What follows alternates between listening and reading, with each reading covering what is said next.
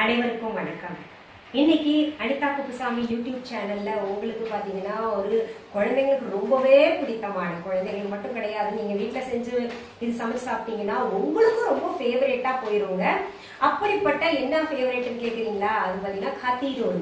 காத்தி ரோல்ன்றது புது பேரா இருக்கு இல்லையா? இது நீங்க ஒரு ஒரு தடவை என்னென்ன செய்யறோம்னு பாத்துட்டீங்கன்னா உங்களுக்கு புரிஞ்சிடும் இது ரொம்ப ரொம்ப நியூட்ரிஷியஸ்ங்க நான் இன்னைக்கு இந்த காத்தி ரோல்ல பயன்படுத்துறது பாத்தீங்கன்னா சோயா வகையில. சோயா பன்னீர் சோயா சங்க்ஸ் இந்த மாதிரி. அதனால ரொம்ப நியூட்ரிஷியஸ் உடம்புக்கு ரொம்ப ரொம்ப நல்லது. புரோட்டீன் நிறைய புரோட்டீன் கிடைக்கும் இது. அதனால இதுக்கு பேர் பாத்தீங்கன்னா சோயா காத்தி ரோல் அப்படின்னு நான் வச்சிருக்கேன். சரி இதற்கு தேவையான பொருட்கள் என்னென்னன்னு பார்த்துடலாமா உங்களோ இதுக்கு பாத்தீங்கன்னா நான் ஒரு கப்பு கோதுமை மாவு எடுத்திருக்கேன். இன்னொரு அரை கப்பு கோதுமை மாவு சப்பாத்தி உருட்டுறதுக்காக எடுத்து வச்சிருக்கேன். இந்த கோதுமை மாவு உப்பு போட்டு இது சப்பாத்தி மாவு பிசைகிறதுக்கு நான் ஏற்கனவே பார்த்தீங்கன்னா ஃபுல்கா ரோட்டி அப்படின்ற சேனல்ல யூடியூப் சேனல்ல கொடுத்துருக்கேன். அதில் நீங்க போய் எப்படி செய்யணும்னு பார்த்துக்கோங்க அது பிசைஞ்சு வச்சதுதான் பார்த்தீங்கன்னா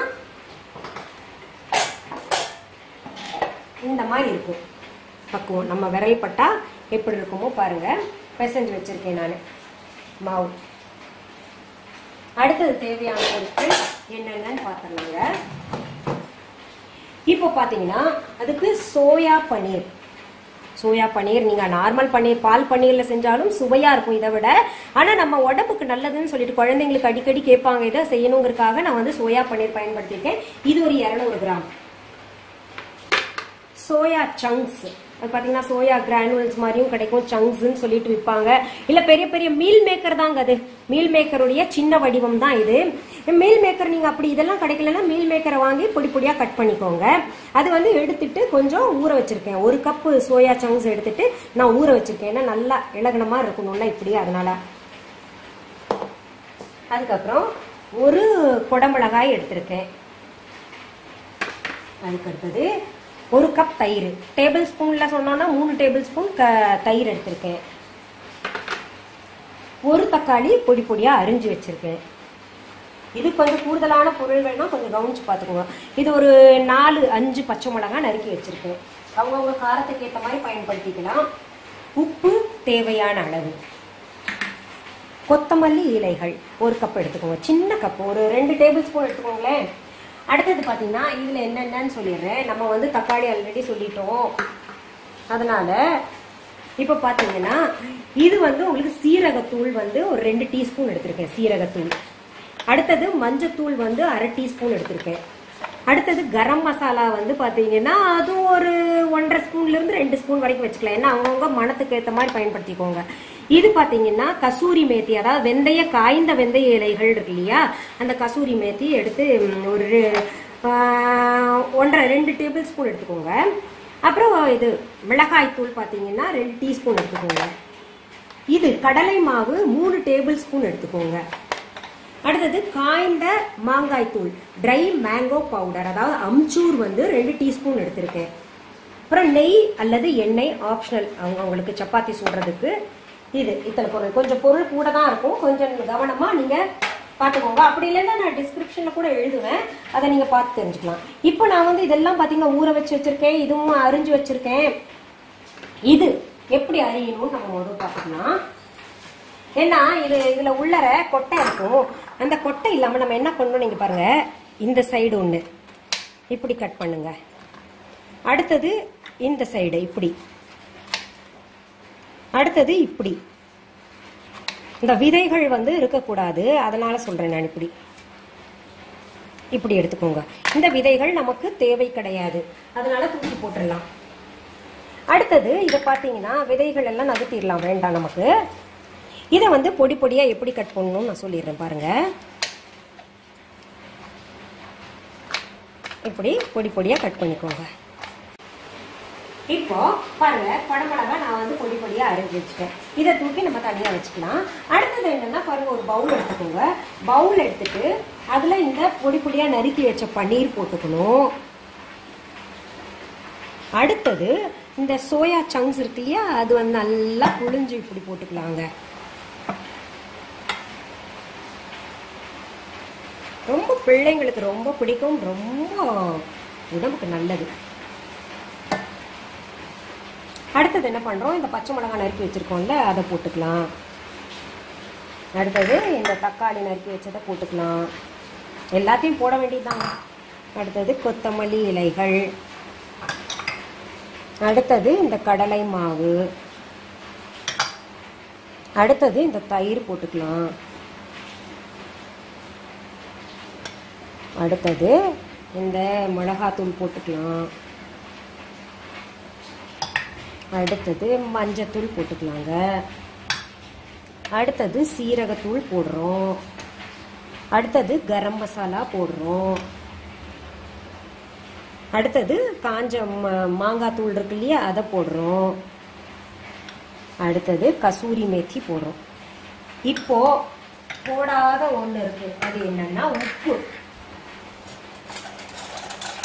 உப்பு போட்டுக்கலாம். தேவைன்னா பார்த்து அப்புறமே கூட போட்டுக்கலாம். இப்போ இது எல்லாத்தையும் ஒன்னா கிளறணுங்க. இங்க பாருங்க. நான் இப்போ சொன்ன அளவுல உங்களுக்கு கிட்டத்தட்ட இதுல கத்தி ரோல் எவ்வளவு பண்ணலாம்னா ஒரு பதினஞ்சு பண்ணலாங்க. பதினஞ்சு பண்ணலாம். ஆமா. இப்போ பாருங்க அடுத்தது என்ன பண்ண போறோம்னா இது கலந்து வச்சுட்டோம்.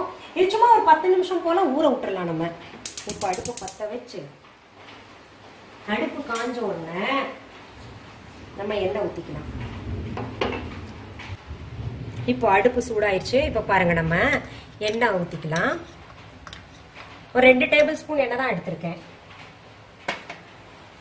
அது காஞ்ச உடனே நம்ம என்ன பண்ணணும்னா இது பாருங்க இந்த இது போட்டுக்கணும் கேப்சிகம் குடமிளகா போட்டு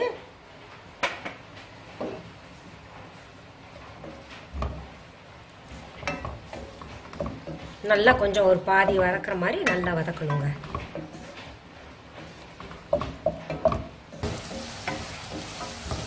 இப்போ பாருங்க நம்ம பச்சை பசேல்னு போட்டோம் இல்லையா குடமிளகா இப்போ பாருங்க லைட்டா ஒரு மாதிரி எல்லோவா மாறிட்டு வருது. இப்போ என்ன தெரியுமா பண்ணணும்? இந்த மசாலா எல்லாத்தையும் போட்டுடலாங்க.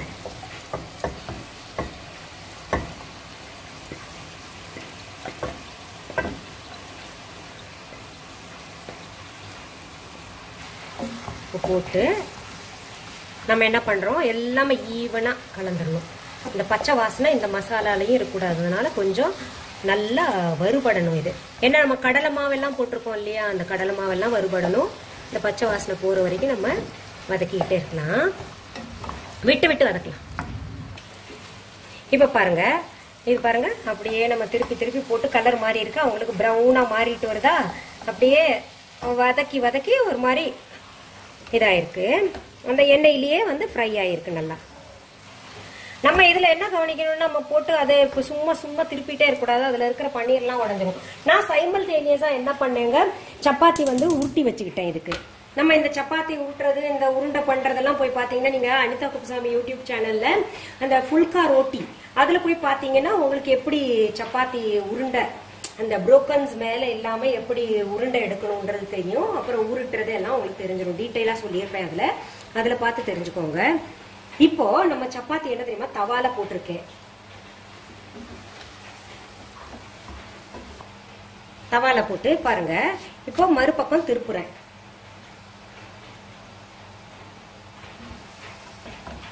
இப்போ மறுபக்கம் திருப்பினதுல பாருங்க. இதுல கொஞ்சம் லைட்டா பிரவுன் ஸ்பாட்ஸ் ரெண்டாவது பக்கம் மறுபக்கம் வரும். அது வந்த உடனே நம்ம இறக்கி அது அந்த ரொட்டி அப்படியே வச்சுக்கலாம்.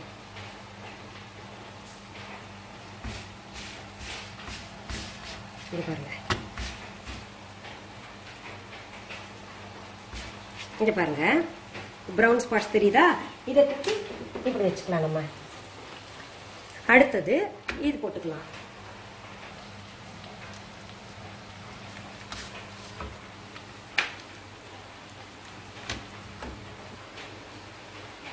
இப்போ என்ன பண்ணுங்க இது நமக்கு சரியான முறையில் பாருங்கள் ஒரு மாதிரி கலர்லாம் சேஞ்ச் ஆகிட்டு நல்லா வதக்கியிருக்கோம் சரியான முறையில் வறுத்துருக்கோம் இதை. இப்போது இதை இறக்கி வச்சுக்கலாம். நிறைய சப்பாத்தி மாவு இருக்குன்னா நம்ம அத்தனையும் செஞ்சுட்டு வேண்டாம். இப்போது நல்ல ப்ரௌன் ஸ்பாட்ஸ் இருக்கு இல்லையா? இங்கே பாருங்கள் இதுக்கும் இதுக்கும் வித்து அந்த ப்ரௌன் ஸ்பாட்ஸை நல்லா உள்ளே வச்சிருங்க. அப்புறம் இது இப்படி பண்ணணும். ஒன் சைடு வச்சுக்கலாம்.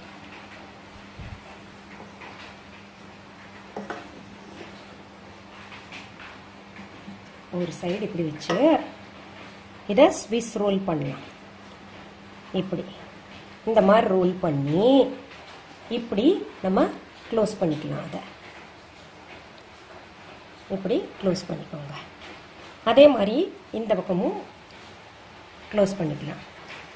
மூடிக்கலாம். இப்படி. மூடி வந்துட்டு இப்படி வச்சுக்கோங்க. அது திறந்தா கூட கவலை கிடையாது. ஏன்னா அதில் இருக்கிற மசாலா அதில் தான் இருக்க போகுது.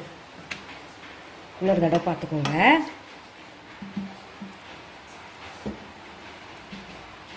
ரொம்ப ஃபில்லிங்ஸ் வச்சா கூட நிறைய வெளியில் வந்துடும் அதனால் நம்ம பார்த்து வைக்கணும். இதை இப்படி ரோல் பண்ணி இப்படி எடுத்து இப்படி இங்கே ஃபோல்ட் பண்ணிக்கணும். இப் அப்புறம் இது இங்கே பாருங்கள் தெரியுதா? இப்படி பண்ணிக்கணும். இப்படி வச்சுக்கோங்க. இப்போ பாருங்க நம்ம இது ரோல் பண்ணி வச்சுருக்கோம் இல்லையா? இதை வந்து எப்படின்னா இந்த தவால இப்படி வச்சுக்கோங்க. சிம்மில் வச்சுக்கோங்க. இதில் நம்ம சாய்ஸுங்க இதில் வந்து நெய் விட்டு இப்போ சாப்பிட்றதும் நம்ம சாய்ஸ் இல்லை. அப்படியே சுட்டு சாப்பிட்றதும் நம்ம சாய்ஸ் நான் என்ன பாருங்கள் உங்களுக்கு? நெய் விடுறேன். நெய் விடாமல் அப்படியே சாப்பிட்லாம். நல்லா சுட்டுட்டிலும் கொஞ்சம் கிறிஸ்பி ஆகணும் அந்த அவுட் சைடை அந்த கிறிஸ்பி ஆற வரைக்கும் அப்படியே வச்சுட்டு கூட நம்ம சாப்பிட்லாம்.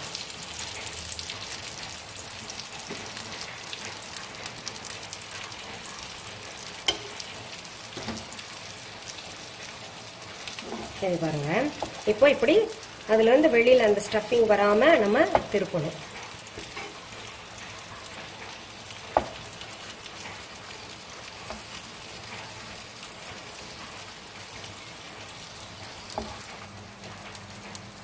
இப்படி திருப்பி போட்டுரும் திருப்பி போட்டு போட்டு நம்ம சுடணும்.